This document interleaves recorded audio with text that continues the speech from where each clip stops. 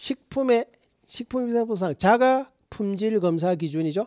옳은 것 1번과 2번 조금 전에 말했던 거 한 번 더 계속 나오죠. 식품은 재질별로 하는 게 아니라 품목별로 하고요.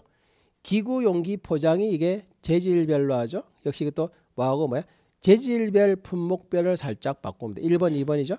3번 자가 품질 검사 주기의 적용 시점은 제조한 날, 식품 제조일을 기준으로 산정하죠.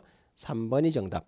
4번 자가 품질 검사 기록. 기록은 특별한 전제가 없으면 보통 2년간 보관하는 것이었죠. 3년짜리가 3번 있긴 했지만 대체적으로 2년. 자가 품질 검사 기록서는 2년간 보관하는 거 됐습니다. 그래서 교 3번이 그래서 정답이 되었고요. 6번의 정답률은 50% 교재 36페이지에 나옵니다. 36페이지 보시면 그 내용 아니면 서브노트를 활용해서 보셔도 될 것 같고요.